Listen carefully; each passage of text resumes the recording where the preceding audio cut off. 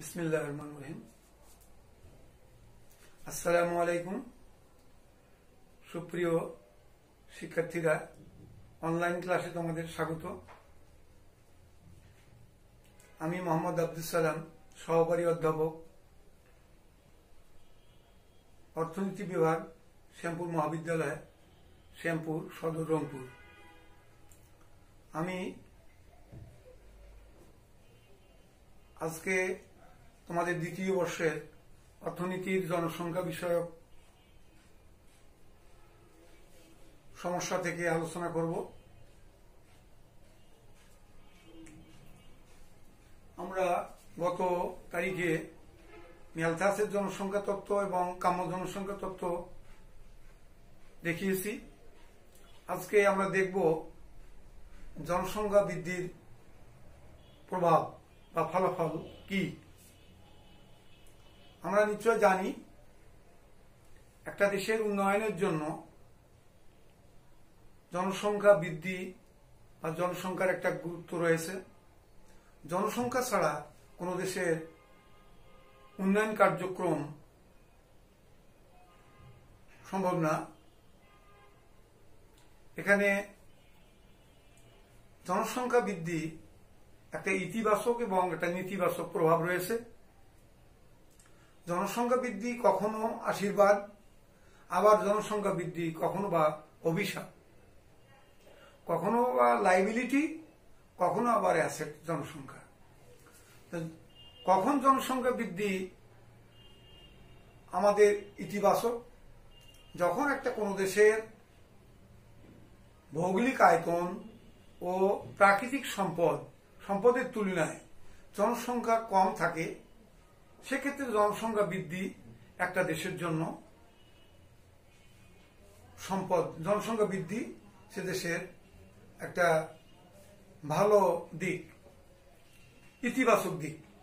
আবার যদি প্রাকৃতিক সম্পদ বা ভৌগোলিক আয়তনের তুলনায় জনসংখ্যার পরিমাণ বেশি থাকে, তাহলে ওই দেশে যদি জনসংখ্যা বৃদ্ধি ঘটে সেই জনসংখ্যা হবে বিপদ বা দায়।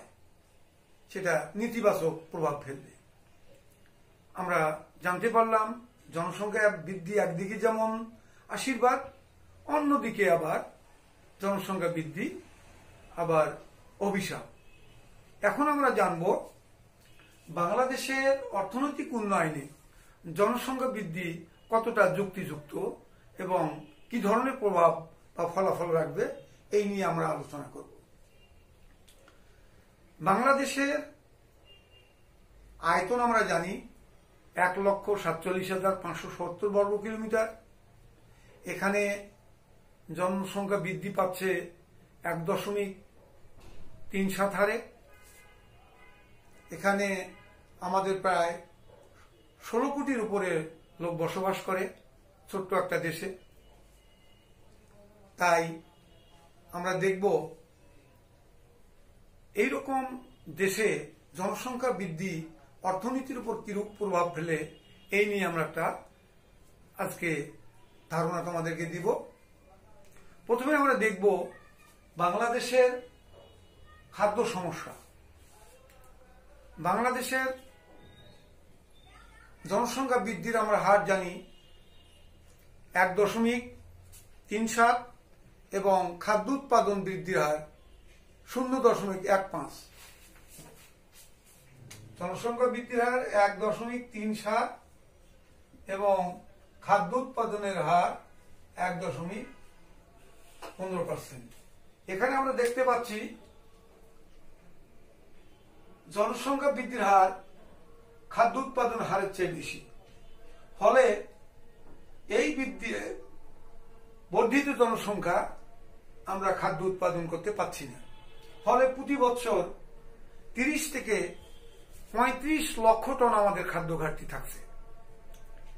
তাহলে এই বিপুল পরিমাণ জনসংখ্যার খাদ্য চাহিদা আমরা পূরণ করতে হিমশিম খাতে হচ্ছে আমাদের দেশকে। আমরা দ্বিতীয়ত দেখব বস্ত্র সমস্যা। বাংলাদেশের অর্থনৈতিক উন্নয়নে জনসংখ্যা বৃদ্ধির যে দ্বিতীয় সমস্যা, সেটা বস্ত্র সমস্যা। আমরা জানি সুশৃঙ্খল সুশৃঙ্খল সমাজবদ্ধ জীবন যাপনের জন্য, লজ্জা নিবারণের জন্য আমাদের বস্ত্রের প্রয়োজন। কিন্তু বাংলাদেশ তুলা উৎপাদনে সমৃদ্ধ নয়।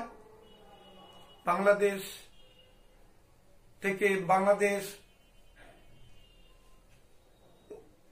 অন্যান্য উন্নত দেশ থেকে তুলা আমদানি করে, সুতা আমদানি করে এবং কাপড় আমদানি করতে হয় আমাদেরকে। আমরা তুলা কিংবা সুতা মানে উৎপাদনে সমৃদ্ধ নই। যার ফলে আমরা বাইরের দেশ থেকে তুলা, সুতা এবং কাপড় আমদানি করি। প্রতি বছর এদেশে এমনও ছিন্নমূল মানুষ আছে, শীতকালীন সময় তারা বস্ত্রের অভাবে শীত বস্ত্রের অভাবে মৃত্যুবরণ করে। এবং এদেশের মানুষ প্রয়োজনীয় বস্ত্রের অভাবে ছিন্নমূল মানুষগুলো যেন ধুকে ধুকে নিঃশেষ হয়ে যায়। তারপর আমরা দেখব শিক্ষাক্ষেত্রের সমস্যা। এই বিপুল পরিমাণ জনসংখ্যার খাদ্য আমদানি করতে এবং তাদের চাহিদা পূরণ করতে, প্রয়োজনীয় দ্রব্য পূরণ করতে আমাদের শিক্ষাক্ষেত্রে একটা বিরাট একটা আমরা অবক্ষয় দেখতে পাই বা শিক্ষার যে প্রয়োজনীয় সামগ্রী এবং শিক্ষার যে সুযোগ, এগুলো থেকে আমাদের বঞ্চিত হই। সবার জন্য শিক্ষা প্রাথমিক এবং মাধ্যমিক স্তরে এবং উচ্চশিক্ষার ক্ষেত্রে আমাদের এখনও অনেক অভাব রয়েছে এবং আমাদের শিক্ষা সামগ্রী সহ এবং এখানে বই পুস্তক খাতা পত্রের মূল্য অনেক বেশি। সেখানে আমাদের শিক্ষার যে উপকরণগুলো আছে, এগুলো প্রতিনিয়ত দাম বেড়ে যাচ্ছে। যার ফলে এই দরিদ্র শ্রেণির মানুষ উক্ত শিক্ষা উপকরণগুলো কিনে সেই শিক্ষা গ্রহণে ব্যাহত হচ্ছে। যেমনটি বলা যায় যে আজকে যে আমাদের যে করোনার প্রভাব পড়ছে আমাদের দেশে, সেখানেও আমরা দেখছি যে অনেকের টাচ মোবাইলের অভাবে তারা দেখা যাচ্ছে অনলাইনে ক্লাস করতে পারছে না। এইটা আমাদের দেশের শিক্ষাক্ষেত্রে একটা বিরাট অন্তরায়, অতিরিক্ত জনসংখ্যা এবং আমাদের এর ফলে শিক্ষার উপকরণের দাম বৃদ্ধি পাওয়ায় আমরা সেই শিক্ষাক্ষেত্রেও বঞ্চিত হচ্ছি শিক্ষা সুযোগ থেকে আমরা পিছিয়ে পড়ছি। আমরা এই জন্য লক্ষ্য করি, স্বাধীনতার পঞ্চাশ বছর পরেও আজকে আমরা শিক্ষাক্ষেত্রে তেমন উন্নয়ন ঘটাতে পারিনি। আমরা এখন দেখব চিকিৎসা ক্ষেত্রের সমস্যা। হ্যাঁ এই বিপুল জনসংখ্যার চিকিৎসার ব্যয় বহন করা সরকারের পক্ষে আদৌ সম্ভব হয় না। এখানে চিকিৎসা সামগ্রীর অভাব তো আছেই। এছাড়াও ডাক্তারের অভাব, না, প্রশিক্ষণপ্রাপ্ত নার্সের অভাব আমরা বাংলাদেশের ক্ষেত্রে আমরা লক্ষ্য করি একশো চৌত্রিশ জনে একজন ডাক্তার পাওয়া যায়। আমাদের মাথাপিছু ডাক্তারের পরিমাণ। এখানে আমরা লক্ষ্য করছি, একজন ডাক্তার প্রায় এক হাজার সাতশো চৌত্রিশ জনের চিকিৎসা দিচ্ছে। এই একজন ডাক্তারের পক্ষে প্রায় দু হাজার লোকের চিকিৎসা দেওয়া কতটুকু সম্ভব এটা আমরা সহজেই অনুমান করতে পারি। তাছাড়া আমাদের দেশে হাসপাতালের অভাব এবং যত্রতত্র দেখা যায় যে রেজিস্টার্ড রেজিস্ট্রেশন ছাড়াও অনেক ক্লিনিক, হাসপাতাল খুলে বসে আছে। এরা অনেক সময় মানুষকে ধোকা দিচ্ছে। এগুলো আমরা দেখতেছি যে জনসংখ্যা বৃদ্ধির ফলে আমাদের হাসপাতালের অভাবে এগুলো খোলা হয়েছে। কিন্তু দেখা যায় যে সেগুলো ভালো ডাক্তার কিংবা ভালো নার্স দিয়ে তাদেরকে যত্ন দেওয়া সম্ভব হচ্ছে না। তাহলে আমরা দেখতে পাচ্ছি চিকিৎসা ক্ষেত্রেও আমরা পশ্চাৎপদ হয়ে আছি জনসংখ্যার ক্ষেত্রে বৃদ্ধির ফলে। এখন আমরা দেখব বাসস্থান সমস্যা। মৌলিক চাহিদার মধ্যে একটা বাসস্থান সমস্যা অন্যতম। একটা লোকের সুস্বাস্থ্যের জন্য একটা ভালো বাসস্থান দরকার, যেখানে আবহাওয়া আলো বাতাস প্রবাহিত হয়, যেখানে তাদের স্যাঁতস্যাঁতে ড্যাম ড্যামে জায়গায় বসবাস করলে নানান রোগ হতে পারে।